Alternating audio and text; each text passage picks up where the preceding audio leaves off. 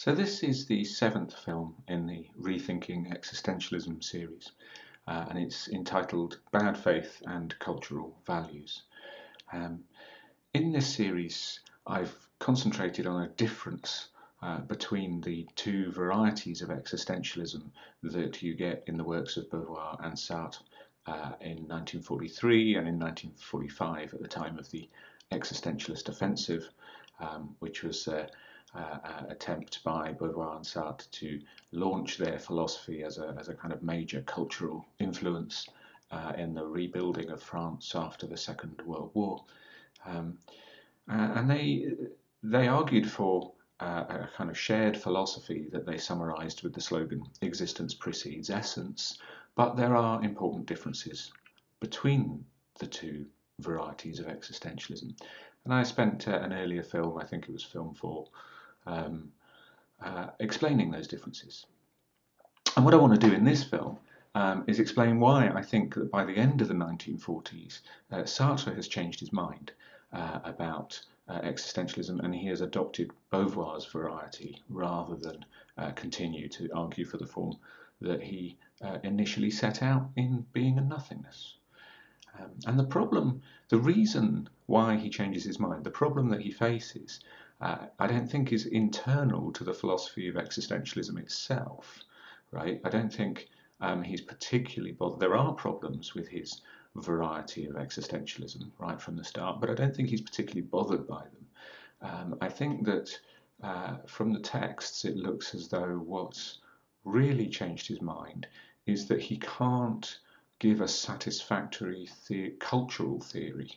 Uh, a satisfactory theory of the origins and and transmission of cultural values uh, around groups of people uh, on on the basis of his initial form of existentialism, but that he can, uh, if he adopts Beauvoir's form, uh, and say that's the way he goes, and that then I think uh, transforms his philosophy quite quite thoroughly. Okay, so first I'm going to uh, talk about the difference between Beauvoir and Sartre for a bit, and then I'll explain the problem uh, that Sartre faces. Um, so the difference is this, right? So they both agree that existence precedes essence.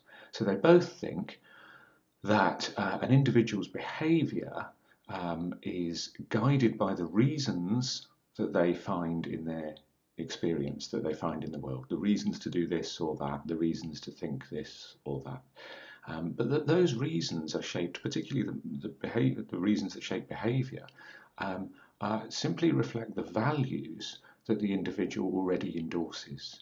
Right? So if you um, if the sign that tells you to keep off the grass seems to you to be a reason to keep off the grass, that's because you value uh, doing what you're told, or you value not getting into trouble, uh, or you value not standing out as a troublemaker, or something like that. Uh, if your values are very different, you might read that sign that says keep off the grass as a reason to walk on the grass. So the idea is that the, the, the reasons we experience in our behaviour actually reflect our own values, and that those values are ones that we choose to endorse and that we could change. We could have other values. That's the core idea of existentialism that Sartre and Beauvoir agree on. Where they disagree is over the idea of sedimentation, as I've been calling it. So, on Beauvoir's view, the longer you endorse a particular value, the more you act on it, the more you employ it in your decision making about how to behave, uh, the more firmly embedded it becomes. It becomes a, a more um, a deeper and more significant, a more influential part of your cognition. So it just it has more influence over your behaviour uh, the longer you've been acting on it, and um, as a result, it becomes more difficult to overcome it you can't just choose a new value and the old value will disappear because it's become firmly ingrained in your system through all that repetition and all that habituation. Um, whereas for Sartre, um, he, he has a theory of radical freedom um, which is based in his metaphysics of being and nothingness, which we're not really talking about in these films. But because of those metaphysical commitments, he thinks that um, that no uh, values that you endorse, the projects that you pursue, as he calls them, um, uh, have no inertia of their own. They have no influence or force of their own. They only influence your thought or behavior to the degree to which you still endorse them, uh, you still agree with them. So if you uh, choose a new set of values or a new value to replace an old value, that's it. You, you're done. The old one's gone and the new one's in place. And that's what he calls radical conversion. Uh, or radical freedom is the ability to do it. Radical conversion is the ability is uh, is his name for changing your whole outlook, your whole system of values. Now he thinks there are reasons why people mostly don't do that. Um, uh, people become very attached to the values that they've got. They, they do value the things that they value, so they don't seem to have any clear reason to to change those values, but they could.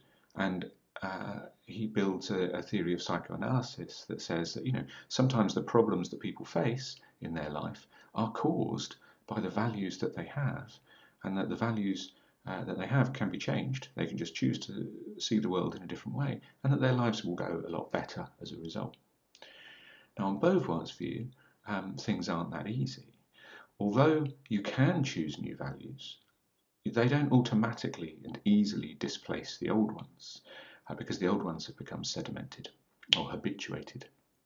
So uh, instead, it takes a kind of ongoing uh, process of sedimenting the new values, which may be uh, taking as long and be as uh, as uh, complicated a process as sedimenting the old ones was, even though when the old ones were sedimented, you didn't necessarily realize you were doing it. So Beauvoir elaborates this view um, most uh, uh, uh, in most uh, detail, I think, in her book The Second Sex. So she thinks it's the upbringing uh, of, of boys and girls which sediments into their outlook particular kinds of values, which provide them with uh, a different outlook on the world. So that boys and girls grow up to be men and women, and men and women are different genders. They have different uh, uh, priorities, they have different interests, they have different goals, and that's all because of the projects and values that were instilled in them through their upbringing. Um, and once they are adults, they're in an adult world that continues to reinforce those gender roles, um, but also because they are adults who have these ideas deeply sedimented into their own outlook, um, they tend to reproduce those ideas in their own children uh, and other people's children by policing their behaviour in ways that um, uh, sediments the same values. Right? And so the system perpetuates itself. Um, now, on Beauvoir's view, um, the, the values that have been instilled into you through your childhood can be overcome, but not in a simple way like the way that Sartre seems to think that you, in his early work that um, that you can just come to realize that they're causing you trouble and just choose new ones. Rather, she thinks that they become sedimented, even if you've rejected them, even if you are a, a, a, more free-thinking, more liberated person who doesn't want to uh, uh, live up to their required gender role. Um, it's still difficult, she thinks, because one of the reasons it's difficult is that the values of that gender role are still deeply part of your outlook. So you're kind of in conflict with yourself, um, at least until such time as you have worked through the process of sedimentation and habituation and, and kind of grown into your new outlook. Um, so Sartre, as I say, wants to be able to uh, explain uh, culture and cultural values without that notion of sedimentation, right? Beauvoir clearly uses sedimentation to explain why it is that particular cultural groups have values and, and projects in common, uh, because that's her theory of gender. And she indicates in the second sex that, you know, in principle, you could um, uh, use the same theory to explain other kinds of cultural groups, though you would have to be sensitive to important differences uh, in, the, in, the, in, the, in the ways in which um, different cultural groups operate. Um, but nevertheless, the same idea of sedimentation could, uh, could explain the generation and transmission and reinforcement of uh, a cultural outlook in a particular group of people. Uh, a common set of values to a particular group of people.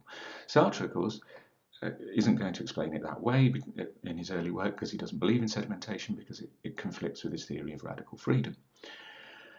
So, in his view, um, uh, well, what is his view? That's the question. How is he going to explain how a, a group of people, um, a culturally identifiable group of people, uh, can have projects in common, values in common? How does that happen? Um, and he addresses this question in a book he wrote in 1944, in October 1944, in fact. Uh, so that's after the liberation of Paris, uh, but it's before the end of the Second World War. Uh, and um, one issue that people were discussing in French culture at the time was, as they saw it, the question of um, how uh, uh, Jewish culture fits into the wider French society.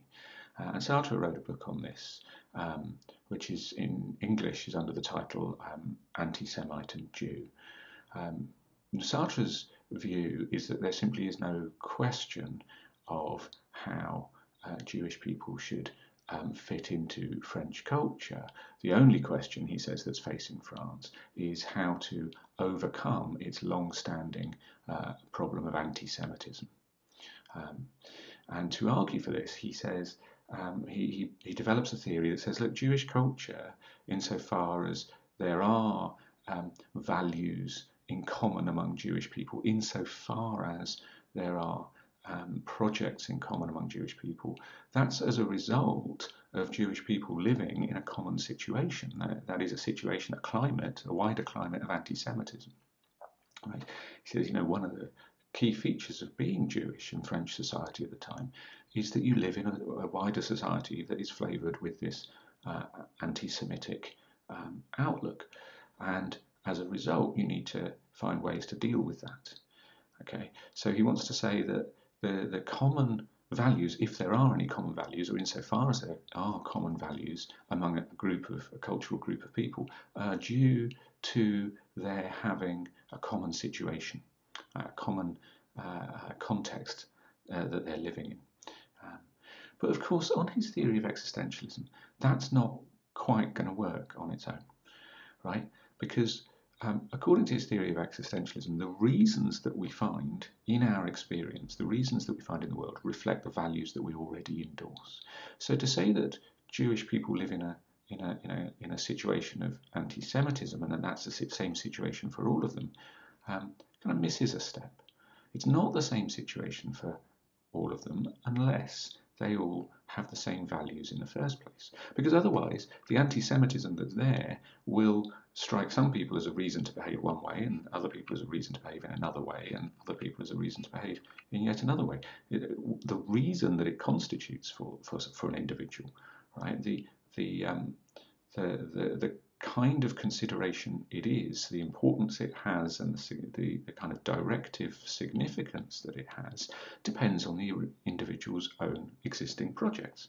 Right? That, that's the theory of existentialism that Sartre is committed to. So he can't just stop the explanation at that point. He can't say people adopt common projects if they're in common situations, because they're only in common situations in the important sense if they've already got some project in common. And for that reason, he has to trace culture, his cultural theory has to trace back to a kind of single common project among all members of a given culture who not necessarily all members uh, of the cultural group, but all members uh, who of that group who um, have the common values uh, of that cultural group, the common outlook of that cultural group. So if we were talking about genders, it wouldn't be all men or all women. It would be all all men who subscribe to a kind of masculine uh, view, traditionally masculine view of what it is to be male, or all uh, women who subscribe to a traditionally feminine or exhibit a traditionally feminine view of what it is to be a woman. Um, uh, uh and in the case of, of uh, uh, Jewish culture, he says, you know, it's it's it's not true that all Jewish people have anything in common, um, but there are uh, kind of common values and common uh, uh, projects among that are kind of prevalent among Jewish communities. And so what he's trying to do is explain how that happens. Um, so the project, the only project he can really um, uh, identify at the root of this, the common project uh, for all people, is uh, the project of bad faith, or project of inauthenticity. And he says in in, this book, he says, don't take this as a moral term. Right? There's no moral judgment here. It's just that there are two ways. If people are classifying you as a particular kind of person, there are two ways in which you can respond to that. One is by asserting uh, that existence precedes essence, asserting your true nature as a as a human being, a, a true structure of human existence.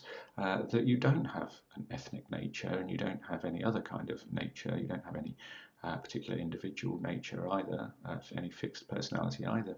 But you you have your own projects and you adopt your own values, and that's who you are. That's authenticity. And he says, you know, authentic people they don't really have anything in common apart from authenticity because they they they are pursuing wildly different projects because they because they understand that they can.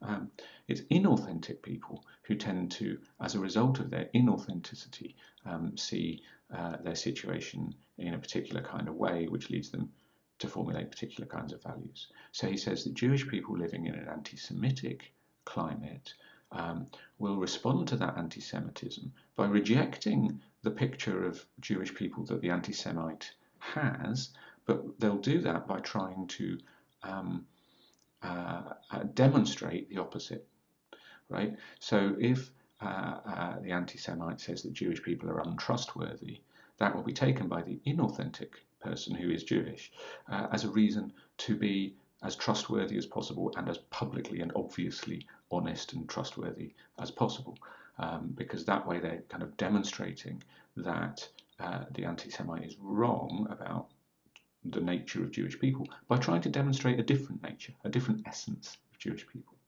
That's that's Sartre's idea.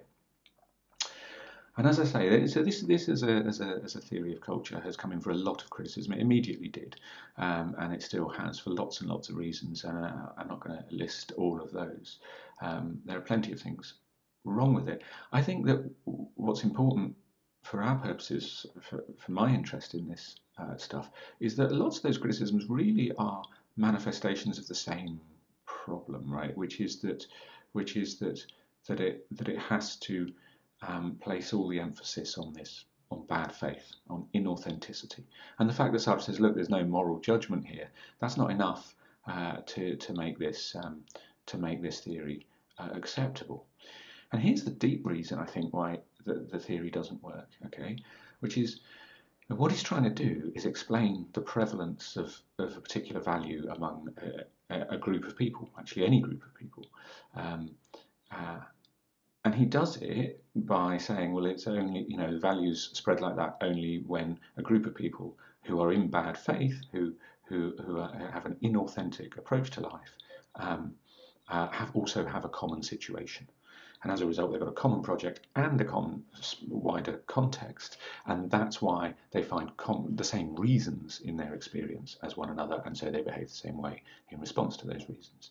And the problem with this is that bad faith itself is a cultural value right so uh, he hasn't explained how all cultural values are spread and are transmitted because um, that is one right? And, and all of the explanation that he's given rests on the assumption that bad faith is a fairly widespread project, not universal, not everybody uh, has an inauthentic approach to life according to Sartre, but it's a very common thing, and it's something which, um, which actually uh, society kind of uh, pressurizes us towards.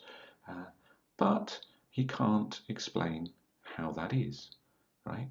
because his only explanation of cultural values uh, rests on the assumption that bad faith already is widespread. But it is a cultural value. So why is it why is it widespread? Why is it something in common among lots of people, most people? Um, Sartre simply can't explain that. So bad faith, the, the, the widespread uh, existence of bad faith turns out to just be a, a, not just an unexplained coincidence for Sartre, but a totally unexplainable coincidence. They, he his theory has no resources for explaining it, and any, any way you could try to explain it is going to require uh, a revision to the theory. And as a result, um, any cultural theory that he tries to build is going to rest on this big unexplainable coincidence. Now, if there's another way of explaining uh, uh, uh, uh these cultural phenomena that doesn't rest on an unexplainable coincidence, then that other way is a better, better explanation. That's the shortcoming of his initial form of existentialism. And um, as we've seen already in this talk, there is a better way to explain the prevalence of cultural values, even within the context of existentialism, and that's Beauvoir's way of doing it. The idea that values just become sedimented as a result of childhood upbringing um, and as a result of um, uh, um, the kind of reinforcement in adult life of um, uh, those cultural values is something that doesn't just apply to gender, it can apply uh, to any kind of cultural values. In fact, it can apply um, to the cultural value of bad faith as well. If you buy the idea that there is such a widespread project, um, Beauvoir can explain it where Sartre can't.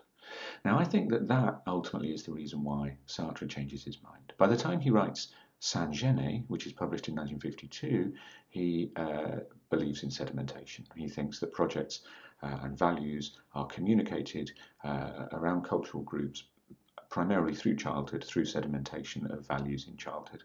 Uh, and that's how he explains um, uh, the, the, the, characteristics of, of Jean Genet, uh, who's a poet and professional thief and friend of Sartre's, who he wrote 500, 600 page uh, psychoanalytic biography of.